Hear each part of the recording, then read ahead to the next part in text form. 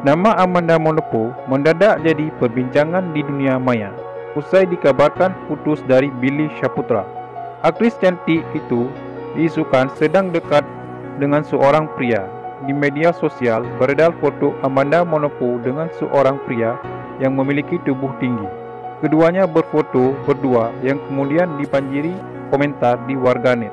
Rupanya pria itu ialah Dikin Tamsa. Sempat bikin penasaran, Dikin Tamsa merupakan bagian dari tim manajemen yang menaungi Amanda Monopo.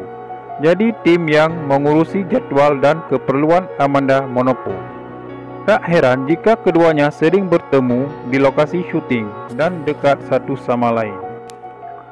Meski sudah diklarifikasikan oleh Dikin Tamsa langsung lewat Instagram story-nya, masih banyak warganet yang mendoakan keduanya berjodoh.